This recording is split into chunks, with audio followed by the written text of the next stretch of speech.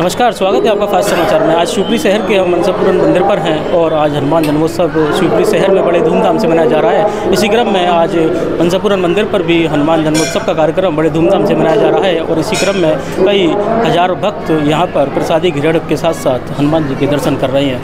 हमारे साथ महाराज जी मौजूद हैं। नमस्कार महाराज। जय श्री राम मेरे राम जी जय श्री राम राम। महाराज क्या तैयारियाँ आज विशेष दिन है। जी राम जी, सबसे पहले तो सभी भक्तों को, सभी शहरवासियों को हनुमान जी के जन्मोत्सव की हार्दिक हार्दिक शुभकामनाएँ। और राम जी, सबसे बड़ी बात तो ये है, हम सभी के आराध्य प्रभु श्री राम जी टेंट से निकल करके महलों में विराजमान हो गए। उसके बाद हनुमान जयंती मनाई जा रही है। तो इसलिए प्रसन्नता है कि राम जी?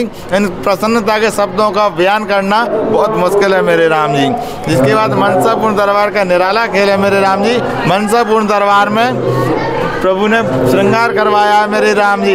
रामायण जी का पाठ हुआ था सुंदरकांड प्रारंभ होने वाला है मेरे राम जी। छप्पन भोग है फूल बंगला है भंडारा सुबह है साढ़े पाँच बजे प्रभु को भोग लगाने के बाद प्रभु ने भंडारा प्रारंभ करवा दिया है मेरे राम जी। अब प्रभु जब तक चलाएँगे राम जी नौ बजे तक दस बजे तक ग्यारह बजे तक बारह बजे तक जब तक चलाएँगे जैसा आनंद आएगा मेरे राम जी। महाराज जी मंदिर की क्या विशेषता है? जी राम जी मनसापूर्ण दरबार का निराला खेल मेरे राम जी जो हाँ यहाँ पर जो मन से, विश्वास से, हृदय से जुड़ा है, वह आनंद ही आनंद में है मेरे राम जी मनसापूर्ण दरबार, आप ध्यान से दर्शन करेंगे राम जी ऐसी प्रतिमा आपको बहुत कम, यानी कि देखने को मिलेगी नहीं राम जी पहली चीज़ है मनसापूर्ण दरबार की जो प्रतिमा राम जी दक्षिण मुखी है।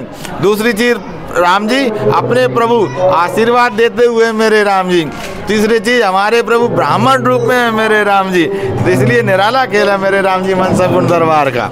महाराज जी कितने भक्त हैं कि आपकी नज़र में हैं जो कि दूर दूर दराज से आते हैं और उनकी मनोकामना पूरी होती है? देखिए राम जी हम सत्य बताएँ शिवपुरी शहर से तो सारे भक्त जुड़े हुए हैं और मनसापूर्ण दरबार की विशेषता है यहाँ बाहर से पूरे भारत से और विदेश से भी भक्त जुड़े हुए हैं मेरे राम जी। अब आप देख रहे हैं मेरे राम जी कोई कानपुर से आया कोई लखनऊ से आया कोई बनारस से आया कोई दिल्ली से आया है, कोई कहीं से आया है राम जी।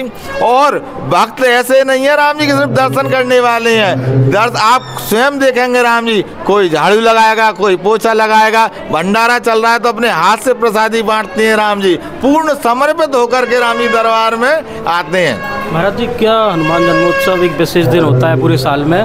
कितने भक्त लगभग संख्या में यहाँ पर अपनी दर्शन करते हैं और भंडारा पाते हैं? देखिए राम जी सत्यता तो ये है मनसापूर्ण दरबार के भक्तों की गिनती तो कर ही नहीं सकते हैं मेरे राम जी सुबह मंगल आरती पाँच बजे हुई थी राम जी पाँच बजे से एक बजे तक दरबार और पूरा प्रांगण फुल चल रहा था मेरे राम जी अब थोड़ा सा रस कम हुआ है और ये रस चार बजे का इतना हो जाएगा राम जी जो है कि चरण रखने को भी जगह नहीं मिलेगी और इतना वक्त आ रहा है तो अपने मनसापूर्ण दरबार में कुछ ना कुछ तो विशेषता होगी राम जी इतने भक्त दरबार में दौड़े चले आ रहे हैं मेरे राम जी। श्री राम जी के भक्तों को क्या संदेश देना चाहेंगे? जी राम जी हमारे हनुमान जी महाराज मनसापूर्ण हनुमान जी महाराज राम जी के दास हैं राम जी के सेवक हैं सेवक बन के रहो सबका सम्मान करो सबसे प्रेम से जय श्री राम करो राम जी। माता पिता के चरण छुओ राम जी। और प्रत्येक घर में रामायण का पाठ होना चाहिए मेरे राम जी।